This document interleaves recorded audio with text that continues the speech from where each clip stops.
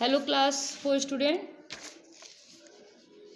Today i will teach chapter 3 chapter three का ए जो है कंप्लीट हो चुका है आप लोग का, और ये बी जो है, आज हम बी कंप्लीट कराएँगे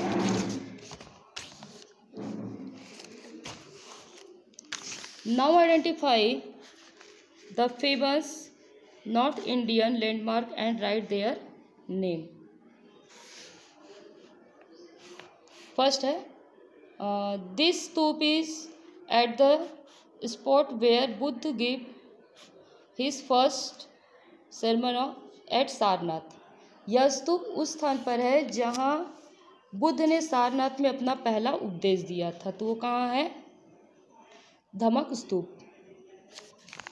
सेकेंड है, this temple is at a height of three thousand five hundred eighty four metres and it developed to lord Shiva यह मंदिर तीन हज़ार पाँच सौ चौवालीस मीटर की ऊंचाई पर है और भगवान शिव को समर्पित है। It is at the source of river Mandakini in Uttarakhand. यह यह उत्तराखंड में नंदा नदी मंदाकिनी नदी के स्रोत पर है। यह मंदिर, फिर से देखिए यह मंदिर यह मंदिर तीन हज़ार पाँच सौ चौवालीस मीटर की ऊंचाई पर है और भगवान शिव को समर्पित है। यह उत्तराखंड में मंदाकिनी नदी के स्रोत पर है। तो ये जो है आपका केदारनाथ टेंपल ये कौन सा टेंपल है? केदारनाथ टेंपल है। थर्ड है, it is also called Har Mandir Sahib. इसे हर मंदिर साहिब भी कहते हैं। Its foundation was laid by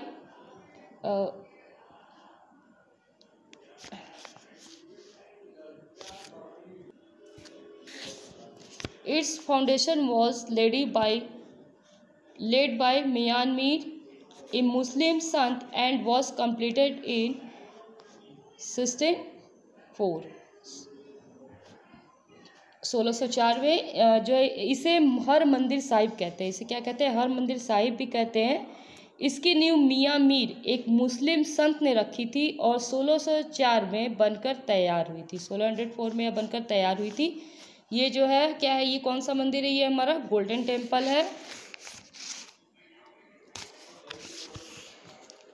It is one of the observatories built by Maharaja Sawai Jai Singh two यह महाराजा सवाई जयसिंह द्वारा निर्मित वेधशालाओं में से एक है।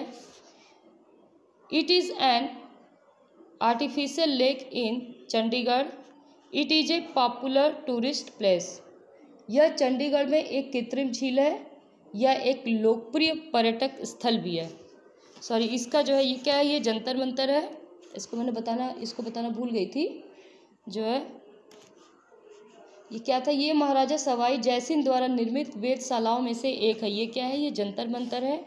और ये है, यह चंडीगढ़ में एक कृत्रिम झील है। यह एक लोकप्रिय पर्यटक स्थल भी है। सुखन लेक और उसके बाद है, देखिए लास्ट है आपका ये सिक्स नंबर पे it is a lake in Srinagar wooden houseboat are means of transport here यह श्रीनगर की एक झील है, यहाँ परिवहन के साधन, लकड़ी के हाउस बोट हैं। ठीक है? ये जो है चैप्टर थ्री का ये बी है।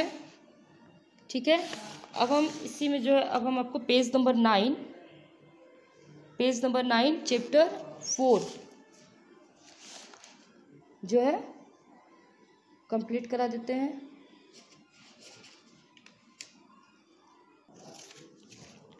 Answer the question given below नीचे दिए गए प्रश्नों के उत्तर दीजिए। You may choose the answer from the help box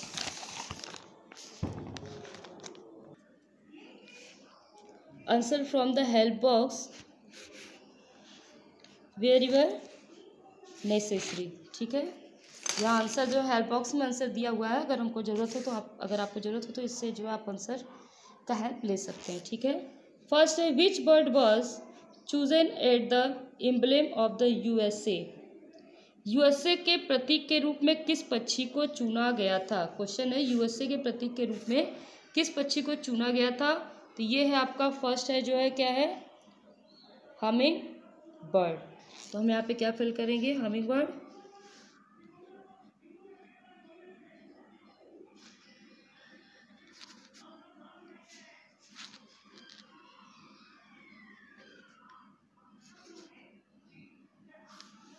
second है where does a pelican hold its catch pelican अपनी पकड़ कहाँ रखता है?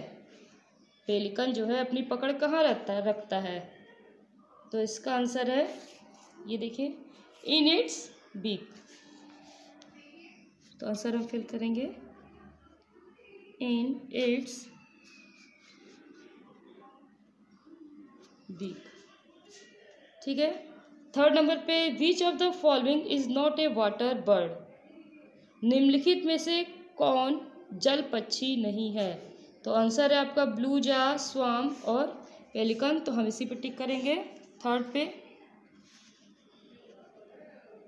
पेलिकन जो है, हमारा जो है वाटर पक्षी नहीं है, जल पक्षी नहीं है। फोर्थ नंबर पे which of the following bird has only two toes निम्नलिखित में से किस पक्षी के केवल दो पैर की उंगलियाँ होती है?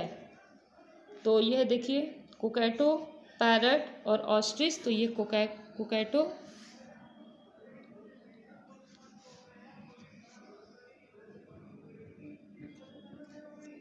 कोकैटो पे टिक करेंगे। फिफ्थ नंबर पे when are owl most active उल्लू सबसे अधिक सक्रिय कब होता है? तो आंसर हमारा एट नाइट ठीक है? सिक्स नंबर पे what is a male duck called नर बत्तख को क्या कहा जाता है? ड्रैग कहते हैं। क्या कहते हैं? ड्रैग कहते हैं।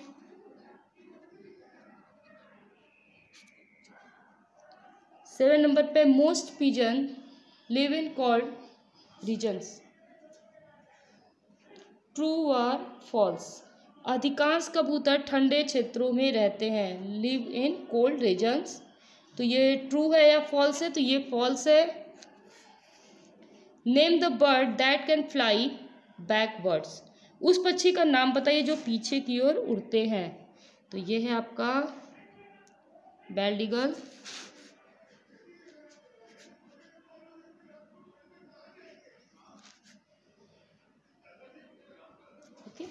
तो ये आपका जो है फाइव भी आज चैप्टर फाइव भी कंप्लीट हो गया है। इस क्वेश्चन आंसर को आप लर्न कीजिएगा और अपनी बुक को भी आप फिल कर लीजिएगा ओके